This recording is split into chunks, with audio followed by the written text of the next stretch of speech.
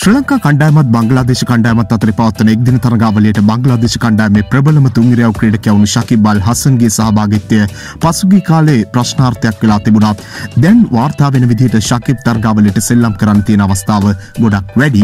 එමුණොත් ශකිබ් බංගලාදේශ කණ්ඩෑමේ අංක තුන ප්‍රතිකරු විදිහට පිටියට එන්න සූදානමින් ඉන්නවා කියලා තමයි විදිස් මාධ්‍ය වාර්තා කරන්නේ. ශකිබ් සාමාන්‍යයෙන් වැඩිපුර මැද පෙළ ප්‍රතිකරුවෙක් විදිහට සෙල්ලම් කරලා තිබුණත් අංක තුනේ ස්ථානයේ තමයි ශකිබ් හොඳටම කරලා තියෙන්නේ.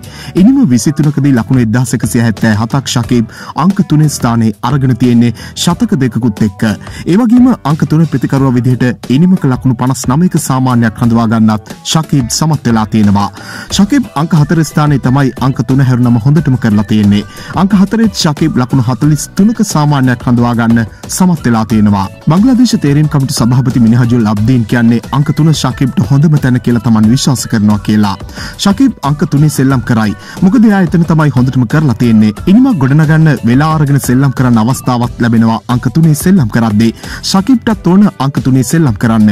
ඒ නිසා අපි අවස්ථාව ඔහුට ලබා දෙන්න ඕන. 2019 ලෝක කුසලාන තරගාවලියේ ශකිබ් සෙල්ලම් කරන්නේ අංක 3 ප්‍රතිකරුවා විදිහට.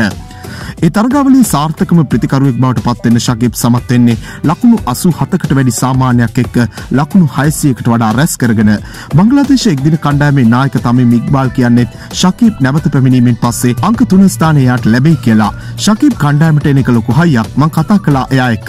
ශ්‍රී ලංකාව එක්ක තරගාවලියට යද්දි මොන සැලසුම් එක්කද යන්නේ කියන දේ ගැන. අංක 3 අංක 4 සෙල්ලම් කරන්න ශකිබ් කැමති. කණ්ඩායම ඉල්ලන දේ මොකක්ද ඒ දේ ශකිබ් දෙයි. ওই විදිහට තමයි බංග්ලාදේශ කණ්ඩායම තමන්ගේ ප්‍රධාන තුන්ගිරියව් ක්‍රීඩකයාගේ පැමිණීම ගැන බලාපොරොත්තු තියාගෙන ඉන්නේ. මේ වීඩියෝ දිනපතා බලන්න අපත් සමග එකතු වන්න. ඔබ තවමත් අපේ channel එක subscribe කරලා නැත්නම් දැන්ම අපි subscribe කරන්නත් ක්‍රිකට් වලට කැමති ඔබේ යාළුවෙකුට බලන්න මේ වීඩියෝ එක share කරන්නත් අමතක කරන්න එපා. ක්‍රිකට් පිටියේ නම් දෙස් අපිට තවත් අලුත් වීඩියෝවකින් හමු වෙන තෙක් ක්‍රිකට් ලංකාවෙතින් ඔබට සුබ දවසක්.